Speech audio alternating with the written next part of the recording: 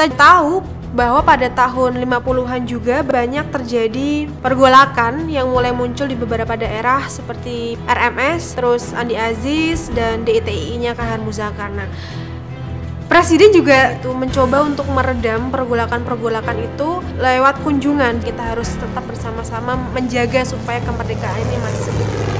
Beliau mendarat di Danau Limboto karena beliau menggunakan pesawat amfibi saya lihat waktu di tangga pesawat itu, kalau macam istilah anak muda cepiki-cepiki lagi antara Pak Nani dengan Pak Soekarno.